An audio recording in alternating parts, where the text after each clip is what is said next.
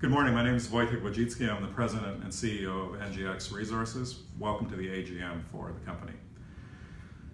So it's been a tough couple of years for junior exploration stocks, but it really looks like the copper price bottomed in January of 2016, and we're confident that the combination of underinvestment investment during the down cycle, which really began in 2012, and a robust long-term demand picture is going to lead to significantly higher copper prices in the medium term.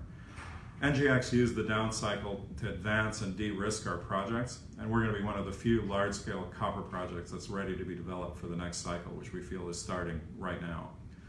This huge long-term value in the kind of large-scale advanced project that we've been able to put together over the last couple of years. It's been a long haul, but we're starting to see more M&A activity and interest in our projects as the majors finish cleaning up their balance sheets and start to think about growth. In the meantime, we're going to continue to look for opportunities to create value as we did with the successful spin out of Filo Mining last year. And then we're also going to be looking to add new high quality projects to our pipeline. So for the last year, our focus has been on low cost options to add value and to make sure that our projects are ready to go for the next cycle. And what this really means is removing as many obstacles to advancing the projects as possible. So a good example of this is last year we closed the deal to acquire the surface rights required to develop Los Helados. And this was a huge achievement that removes one of the main roadblocks that typically delays large-scale projects like this. We also continued the baseline environmental studies. These are important because they provide the long-term data that's used uh, or that's required for your permit applications. We continue to look for opportunities to tweak and optimize our engineering studies and a good example of this is the, the leach test work that we did on the oxide gold zone at Jose Maria last year. We're expecting to ramp up the effort this year, and this is desktop work that's low cost and uses data that we've already generated, and we're going to focus on simpler, lower cost development options that'll focus on Jose Maria, and we'll look at that a little bit later in the presentation. We also worked up some of the earlier stage exploration targets that we have between Jose Maria and Los Helados, and that we think have potential to add mine life and add resources to an eventual operation here. We also significantly ramped up our engagement with our partners, and this is primarily to explore synergies with the nearby Caserones deposit and infrastructure, and we've also increased our efforts to market the projects to third parties.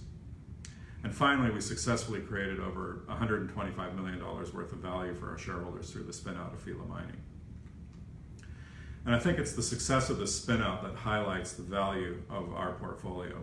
And you can count on us to look to continue to look for ways to unlock more value. Filo was spun out to NGEx shareholders who received one Filo share for every four NGEx shares that they held. NGEx has maintained its value over the last year or so, and Filo now trades at a market cap of around $125 million. Filo is focused on advancing the Filo del Sol project towards production and NGEx is focused on putting together a transaction for our advanced projects and then building and incubating a new project pipeline. So before I move on to talk about the projects, I want to touch on the copper market and the copper price and our outlook. This is important because junior companies like ours, development projects, tend to trade in line with the copper price.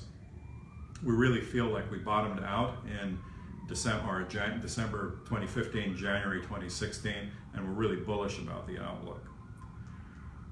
We're bullish about the outlook for the copper price because grades at existing mines are declining significantly, and even Escondida, which is the world's biggest and best copper mine, is looking at a significant grade decline in the next couple of years. So Escondida started out mining 2% copper 30 years ago. For the last 10 or 15 years, it's been around 1%. Going forward, it's looking at looking at more like 0.5%. And this increases costs, increases, um, increases the, the, the cost of doing everything. Furthermore, low prices over the last five years have meant that very little exploration and development work has been done. There's been very limited investment. So very few new large deposits have been found, and even fewer of those are held by junior companies. So there have been a couple of big discoveries, including some discoveries in the Congo uh, in the last few years, but development timelines mean that projects that are found today are unlikely to be in production anytime before 10 or 15 years from now. So the projects that are available to be developed for this cycle are the ones that have been advanced and de-risked like the NGEx projects. On the demand side, just average growth is enough to create a, a shortage of copper. But more importantly, copper also stands to be one of the main beneficiaries of the transition to green energy and green transportation. An electric car uses approximately five times as much copper as a conventional gasoline car. Hybrids use about twice as much copper as conventional uh, gasoline powered cars. Green energy things like windmills and photovoltaic cells also use a lot of copper. So that transition to greater use of electric electric vehicles and green energy is, is strongly bullish for copper. And our projects are going to be in the sweet spot and at the intersection of all of these trends. So these are large-scale, long-life assets in a good jurisdiction with good access to existing mining infrastructure. And in the next slide, I want to show you a short video that's a really good summary of our Constellation project.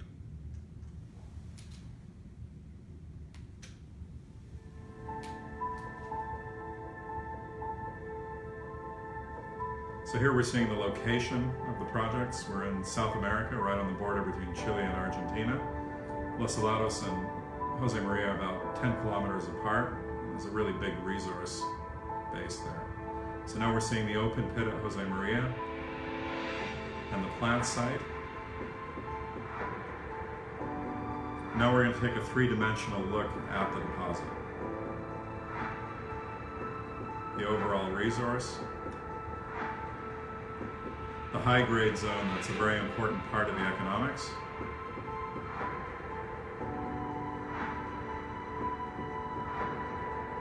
Another look at the infrastructure in the plant site.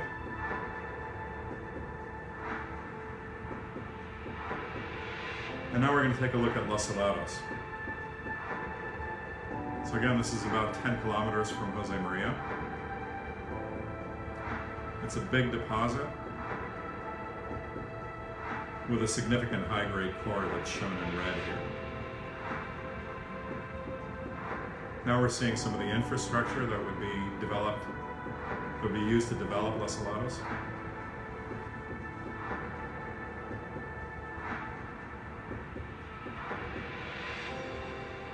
And this is a good aerial shot of the overall infrastructure, including the conveyor belts that would link the two deposits. And now we'll look at the regional infrastructure and access.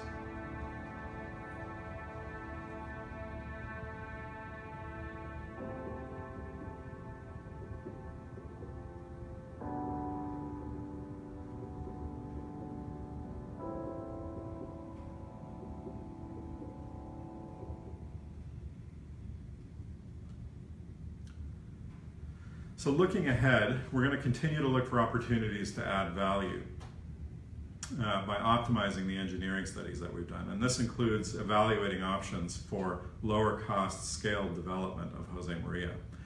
If we look at the production profile for Project Constellation, a lot of the early copper and gold production comes out of the high grade zone at Jose Maria. And so we're going to look at ways that we could develop that on a smaller scale initially and scale our way into a larger operation.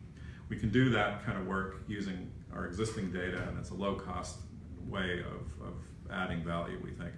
We're going to continue the baseline environmental studies, and then we're going to start the process for acquiring water rights in Argentina. And as I said earlier, we're going to ramp up our efforts to engage with potential development partners, including our current Japanese partners. We're going to work hard on these initiatives, the, and they'll continue in the background. In the meantime, we're going to rebuild our exploration pipeline. And we have one of the best and most experienced exploration teams in South America. When we look at the career discovery record of our management team members, it's pretty impressive. Between us, we've discovered over 16 million tons of copper, 45 million ounces of gold, and 330 million ounces of silver. And that's all of us working together in different companies on different projects. But it's an impressive uh, track record. And if you compare it to what a mid-tier, successful mid-tier mining company like Lundin Mining has, uh, it's significantly more, what we're responsible for discovering is significantly more than the overall resource base of a, of a, of a significant company. So it's a good team, and we really want to use them to bring in the next generation of, of projects. We're seeing some great opportunities, particularly in Argentina, and as these projects develop and mature, I'm confident that we can repeat the success that we've had with the spin out of Filo del Sol. NGEx is really a unique combination of a strong team with a lot of experience in South America and a proven track record of generating good projects. We've got the financial backing of the Lundin Group, which enables us to follow through on our ideas. There's lots of people that have good ideas, not everybody has the money to carry them out. We really feel that the market is turning and the spotlight is going to return to junior explorers, and NGEx will be a beneficiary of that process. We're going to be working as hard as we can on a transaction for the advanced projects and then also working to bring the next generation of projects uh, into the company so that we can do it again. We've got a lot going on and it's going to be an exciting year. Look forward to updating you on our new projects at the next AGM.